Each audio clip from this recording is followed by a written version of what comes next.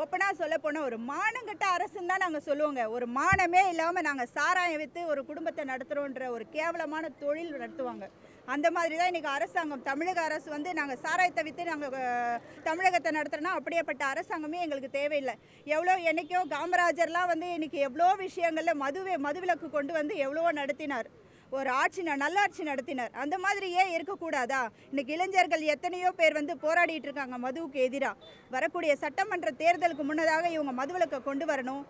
அது மாத்திரம் இல்லாமல் தண்ணீர் இன்னைக்கு தண்ணீர் பிரச்சனை பெரும் பிரச்சனையாக இருக்குது கேன் வாட்டருக்கு நீங்கள் தடை விதிக்கிறீங்கன்னா ஏன் மதுபான ஆலைகளுக்கு தடை விதிங்களேன் அவங்க எடுக்காத தண்ணியை இன்றைக்கி வந்து கேன் வாட்டர் கொடுக்குறாங்க. அவன் எவனோ கடன் வாங்கி எவ்வளவோ வந்து பிரச்சனையில் அந்த க- நிறுவனத்தை நடத்தும் போது திடீர்னு ஒரு அறிவிப்பு கொடுத்து அவங்கள தடை செய்கிறீங்க அப்போ மதுபானங்களுக்கு உங்களுக்கு எந்த அதிகாரத்தில் அவங்களுக்கு வந்து மது தயாரிக்க வந்து உரிமை கொடுக்குறீங்க? அந்த உரிமை லைசன்ஸை வந்து ரெனியூவல் பண்ணாதீங்க இனிமேல் அந்த ரெனியூவல் வரையும் நீங்கள் வந்து கேன்சல் பண்ணுங்கள் முதல்ல அதை கேன்சல் பண்ணுங்கள் இந்த உற்பத்தியை தடை செஞ்சாலே வந்து எந்த விதமான மதுவிலக்கில் வந்து அடுத்தபடியாக உற்பத்தியை தடை செய்யுங்க.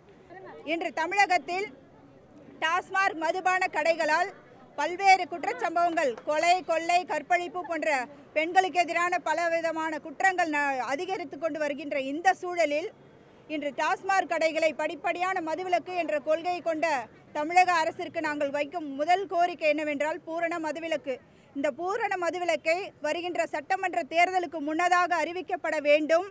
தமிழ் மதுவால் பாதிக்கப்பட்ட குடும்பங்களுக்கு நிவாரணம் வழங்கப்பட வேண்டும்.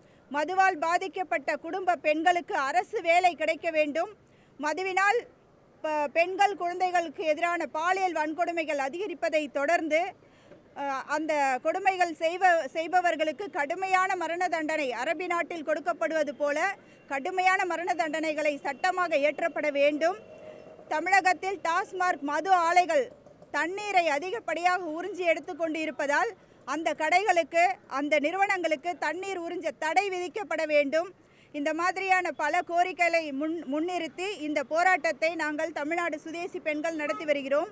இதற்கு ஆதரவாக இந்து அமைப்புகள் பலவும் பல சமூகத்தை சேர்ந்தவர்களும் எங்களுக்கு ஆதரவாக இன்று இந்த மகளிர் தினத்தில் ஆதரவு அளித்து வருகின்றனர்.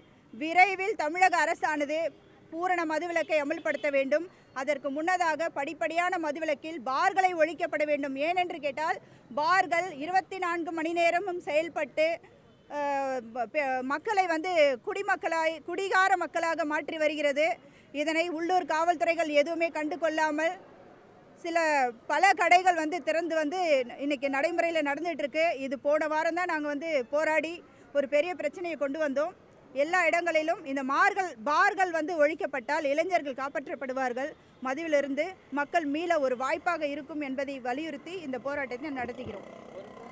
மதுரைன்னு சொல்லிட்டு மகளிர் தினத்தில் பெண்கள் எல்லாம் போராடிட்டு அதே சமயத்தில் ஏராளமான பெண்கள் வந்து இன்னைக்கு மதுக்கு அடிமையாகி பார்களில் டாஸ்மாக் கடைகளில் வந்து நேரடியாக வந்து மது வாங்குற நிலைமைக்கு வந்து பெண்கள் இப்போ வந்து வந்திருக்காங்க. இது போன்ற செயல்களுக்கு என்ன மாதிரி தடை இதுக்கான முதல் வந்து ஒரு அதாவது ஒரு ஒரு மக்கள் வந்து ஒரு குழந்தைகள் மாதிரி உள்ளம். எதை நம்ம காமிக்கிறோமோ அந்த மாதிரி தான் அவங்களுடைய மக்கள் மா மாசு அடையும் இன்றைக்கு இருக்கக்கூடிய கலைத்துறையை வந்து அதுக்கு முக்கிய பொறுப்பு.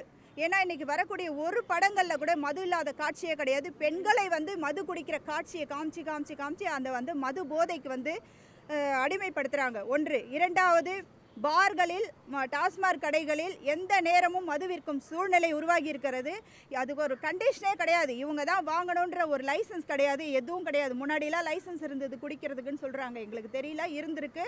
அதே மாதிரி ஏதாவது கட்டுப்பாடுகளை கொண்டு வாங்க. ஒரு வயசு நிர்ணயம் பண்ணுங்க. இந்த மாதிரியான விஷயங்கள் செய்யும்போது ஒரு கட்டுப்பாடு இருக்கும். மது வாங்குறதுக்கான தெளிவு மக்கள்கிட்ட சரியான இல்லை. ஸ்கூல் பிள்ளைங்க கூட இன்றைக்கி பெண் குழந்தைகள்லாம் வந்து மது குடிக்கக்கூடிய காட்சிகளை வலைதளங்களில் பார்த்து எங்களுக்கு மனவேதனையாக இருக்குது இதுக்கு தமிழக அரசு கடுமையான சட்ட திட்டங்களை இயற்ற வேண்டும்.